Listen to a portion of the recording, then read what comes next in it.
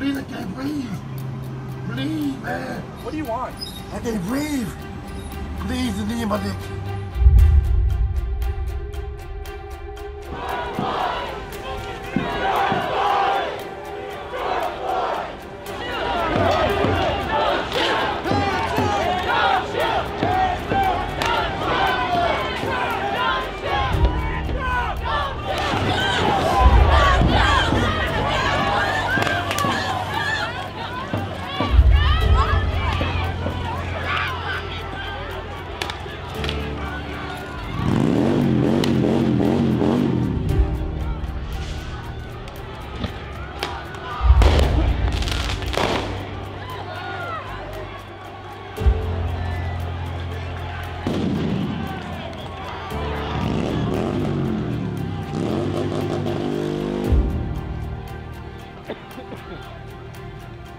I'm out here because this is my neighborhood and they killed this man in my neighborhood and I'm not down with that. And I've been fucked with my whole life being black and raised in a smaller town and I'm fucking tired of it. And I'm a fucking army veteran too. I do not stand with this shit at all, man. This is not what I fucking went to Afghanistan for. I spent 13 months getting shot at and now I'm getting shot at by the fucking police in my own country. That's bullshit.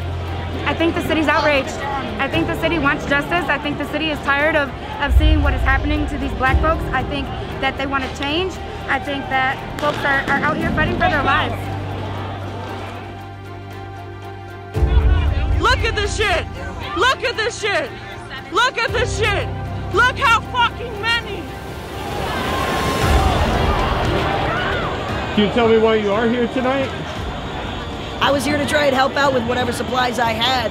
But honestly, when it comes down to it, I came down here because of the fact that, in my opinion, it's a class issue. You have everybody here from all sorts of, you know, backgrounds. You got folks like me, trannies. You got cis folks. You got black, white. You got, you know, religious folks. You got agnostics, atheists.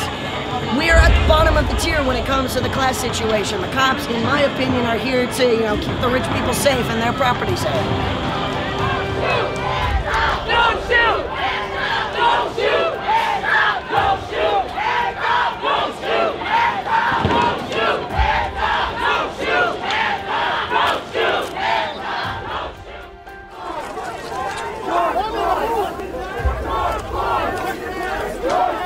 So those are absolutely not gunshots. Those are fireworks being fired off by the protesters